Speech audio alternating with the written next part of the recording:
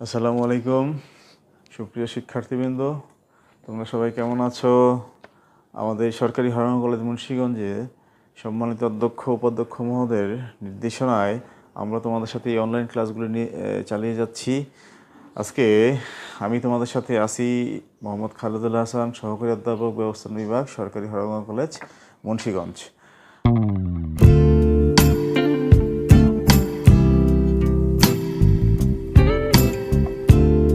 আজকে আমাদের এই ম্যানেজমেন্টের অনার্স সেকেন্ড ইয়ারের একটা ম্যাথমেটিক্যাল কোর্স আছে, সেটা হচ্ছে প্রিন্সিপালস অফ ফিনান্স সেই কোর্সটা আমি তোমাদের সাথে আজকে আলোচনা করব। অলরেডি এই কোর্সের একাধিক ক্লাস আমি নিয়েছি।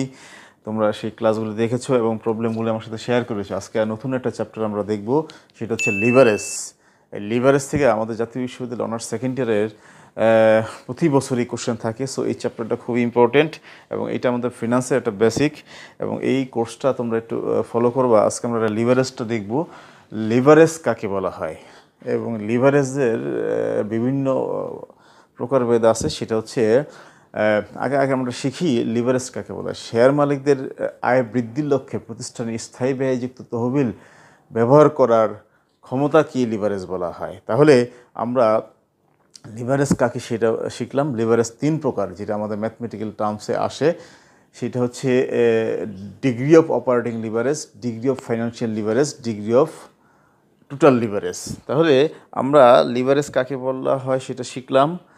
লিভারেজ তিন প্রকার, যেটা আমার ম্যাথমেটিক্সে আমাদের এই- চ্যাপ্টার যে ম্যাথ আসে, সেটা থেকে তোমাকে তিন ধরনের লিভারেজ নির্ণয় করতে বলা হয়। শর্টকাট বলা হয় ডল তারপর হচ্ছে ডিএফএল ডিটিএল অর ডিসিএল তাহলে ডিগ্রি অফ অপারেটিং লিভারেজের শর্টকাট নাম হচ্ছে ডল ডিগ্রি অফ ফাইন্যান্সিয়াল লিভারেজের শর্টকাট নাম হচ্ছে ডিএফএল আর লাস্টলি যেটা হচ্ছে, সেটা হচ্ছে ডিগ্রি অফ টোটাল লিভারেজ এটা আরেকটা নাম হচ্ছে ডিগ্রি অফ কম্বাইন লিভারেজ তাহলে আমরা আজকে এই লিভারেজের একটা কমপ্লিট ম্যাথ শিখব কীভাবে একটা ম্যাথ থেকে আর তিন ধরনের লিভারেজ নির্ণয় করা যায়। তাহলে চলো বোর্ডে আমি একটা ম্যাথ উঠায় রাখছি। একটা বিগত বছর এটা ছোটোখাটো ম্যাথ। দেখি আমরা কি লেখা আছে D calculate the DOL DFL and DCL from the following data মানে নিচের তথ্য থেকে আমরা অপারেটিং লিভারেজ ফাইন্যান্সিয়াল লিভারেজ এবং কম্বাইন লিভারেজ নির্ণয় করব। প্রথমে দেওয়া আছে সেলস ইউনিট দেওয়া আছে এক লাখ ইউনিট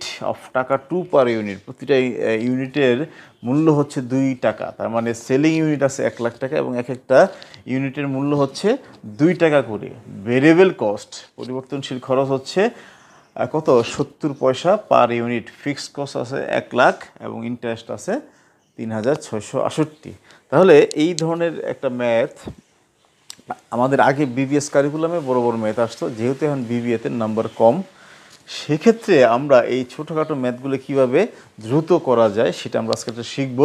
তাহলে আমরা চলে যাই, সমাধান কীভাবে করতে হবে। একটা ফর্মেট আছে, যেই ফর্মেট থেকে আমরা সরাসরি ইপিএস আমরা নির্ণয় করব। যদি আমাকে টোটাল অঙ্কটা করতে বলা হয়, তাহলে আমরা একটু লিখে ফেলি।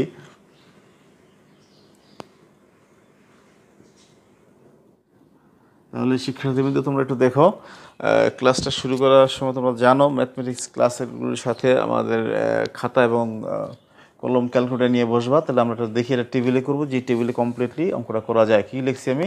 Table for calculation of DOL DFL and DCL মানে ডিসিএল ডিএফএল ডল নির্ণয়ের সারণী। তাহলে আমরা একটা কমপ্লিট টেবিল করি। আচ্ছা বাম দিকে গড়টা একটু বড় লিখলাম ডিটেলস আর ডান দিকে হচ্ছে টাকা।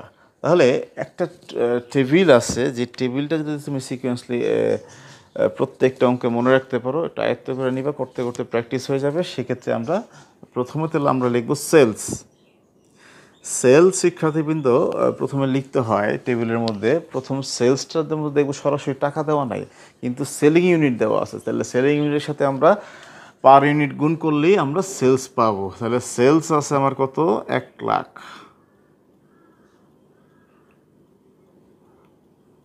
কত করে? দুই টাকা পার ইউনিট। টু টাকা পার ইউনিট। তাহলে কত হয়? দুই লাখ টাকা। Less variable cost. আমরা সেলস থেকে ভেরিয়েবল কস্টটা বাদ যাবে। ইউনিট হচ্ছে আমার কত? এক লাখ। সেলিং ইউনিটের সাথে আমরা কি করব?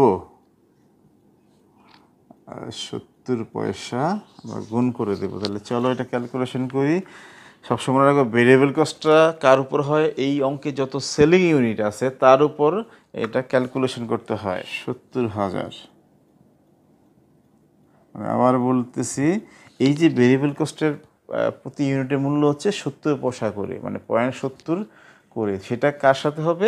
সেলিং ইউনিটের সাথে। তাহলে আমরা সেলস থেকে ভেরিয়েবল কস্টটা বাদ দিলে আমরা একবার আট কমপ্লিট করে তো বাদ দিলে এটা নাম হয়ে যাবে কন্ট্রিবিউশন একটু দেখো কন্ট্রিবিউশন কন্ট্রিবিউশনটা আমরা কত আসবে? এক লাখ বিয়োগ দিয়ে ফেলব, এক লাখ তিরিশ হাজার। কন্ট্রিবিউশন থেকে বাদ যায় কি? ফিক্সড কস্ট কারখানার স্থায়ী খরচ। স্থায়ী খরচ কত আছে? এক লাখ টাকা।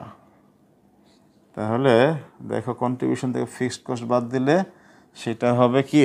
নাম হবে ইবিআইটি সংক্ষিপ্ত লেখে ইভিআইটি আমরা যেহেতু প্রথম অঙ্ক শিখতেছি, আর এটা ডিটেলস লিখব। Earning before interest and taxes এটা শর্টকাট হচ্ছে ইবিআইটি আচ্ছা ইবিআইটি আমরা কত হবে? তিরিশ হাজার বিয়োগ দিলে হয় তিরিশ হাজার। আচ্ছা ইবিআইটি থেকে আমরা কি বাদ দেব? ইন্টারেস্টটা বাদ দিয়ে দেব ইন্টারেস্ট তাহলে ইন্টারেস্ট ইন্টারেস্ট প্রশ্নপত্র দেওয়া আছে কত? তিন হাজার ছয়শো আষট্টি টাকা। সেটার নাম হবে earning before EBT earning before taxes earning before taxes নাম হয়ে যাবে ইবিআই ইবিটি আচ্ছা সেটা আমরা বিয়োগ দিলে কত আসে? কত? ছাব্বিশ হাজার তিনশো বত্রিশ। তাহলে আমরা একটু দেখব আমার টেবিলের কাজ শেষ। আমরা ইবিটি পর্যন্ত করলাম। যেহেতু আমাকে এই ডল ডিএফএল এবং ডিসিএল করতে বলছে, তাহলে আমরা প্রশ্নপত্র যে তথ্য দেওয়া আছে, সেই তথ্যের আলোকে টেবিলটা কমপ্লিট করে ফেললাম। আবারও বলি, প্রশ্নপত্র তোমাকে আগে দেখতে হবে, এই অঙ্কের মধ্যে কি কি দেওয়া আছে। সেটা হচ্ছে তোমার সেলিং ইউনিট কত আছে? আমরা সেলিং ইউনিট দেখলাম এক লাখ টাকা, সেলসের পার ইউনিট দেওয়া আছে কত? দুই টাকা। এবং ভেরিয়েবল কস্ট আছে সত্তর পয়সা, যেই তথ্যগুলো দেওয়া আছে সেটা আমরা একটা টেবিল আকারে করলাম। টেবিল থেকে করলাম কি? ইভিটি নির্ণয় করলাম। এই পরবর্তীতে আরও অনেক পর্যায়ে আছে, সেটা আমার অঙ্কের প্রয়োজনের দরকার নাই। আপাতত এই পর্যন্ত করলে আমরা বাকি সবগুলি ম্যাথ করতে পারব। তাহলে আমরা দেখি রিকোয়ারমেন্ট ওয়ানে কি চাইছে? রিকোয়ারমেন্ট ওয়ান আমরা লিখব ডল হুম, একটু পাশে লিখি। রিকোয়ারমেন্ট ওয়ান ডল ডল আমি সংক্ষিপ্ত লিখি, তোমরা একটু প্রিয় শিক্ষার্থীবৃন্দ। এটা আমি আবারও বলি, এটা ডল মানে হচ্ছে D for degree O for operating L for leverage পরিচালন লিভারেজের মাত্রা। আমরা ডলের সূত্র জানি কি? কন্ট্রিবিউশন ডিভাইডেড বাই ইভিএটি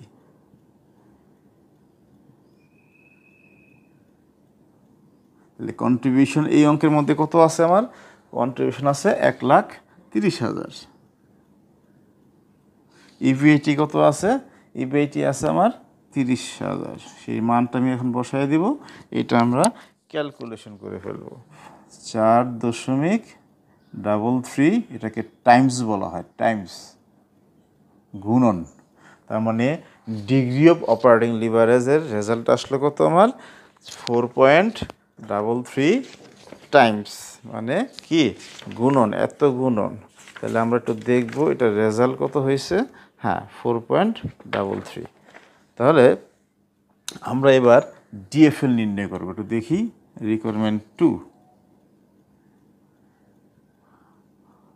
ডিএফএল সূত্র আমরা জানি ইবিআইটি ডিভাইডেড বাই কি?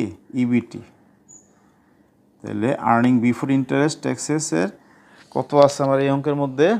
দেখি আমরা তিরিশ হাজার।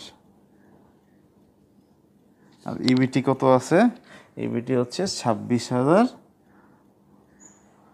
তিনশো বত্রিশ। চলো এটা আমরা ক্যালকুলেশন করে দিই। এক দশমিক ওয়ান থ্রি টাইমস। হ্যাঁ এক দশমিক ওয়ান থ্রি টাইমস। তাহলে আমরা ডল করলাম ডিএফএল করলাম, এখন আমরা ডিসিএল করব। ডিসিএলটা মানে হচ্ছে ডিগ্রি অফ কম্বাইন্ড লিভারেজ হ্যাঁ? ডিসিএল এর সূত্র শিক্ষার্থী কিন্তু খুব মজার। ডিসিএল আর ডিটিএল একই জিনিস মানে মিশ্র লিভারেজের মাত্রা। এই ডলকে বলা হয় পরিচালন লিভারেজের মাত্রা ডিএফএলকে বলা হয় আর্থিক লিভারেজের মাত্রা। এটা হচ্ছে মিশ্র লিভারেজ। মিশ্র মানে ডল আর ডিএফএল এটা সূত্র হচ্ছে ডল গুণন ডিএফএল তাহলে এই দুইটা আমরা গুণ দিলেই ডল কত বেরিয়েছে চার দশমিক তেত্রিশ। ওয়ান দশমিক